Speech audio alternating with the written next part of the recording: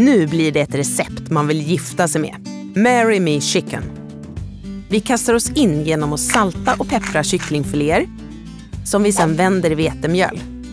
Det gör nämligen att de får fin yta och sen hjälper det även till att reda såsen. Kom ihåg att hälla ner lite olja i pannan också. När filéerna har fått den här härligt gyllenbruna färgen på båda sidorna så lägger vi över dem på ett fat.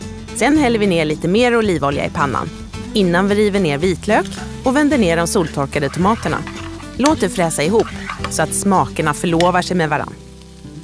Lite hetta och krydda behövs såklart. Så vi tillsätter även chiliflakes, oregano och timjan. För att få till den där krämiga såsen går vi också i med vatten, grädde och smulad buljongtärning innan vi avslutar med härlig parmesan.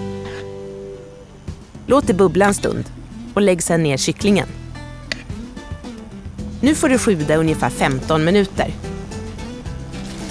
Fortsätt med att hacka basilikan och rör ner den så att det blandas ordentligt. Servera sen med ris och extra parmesan.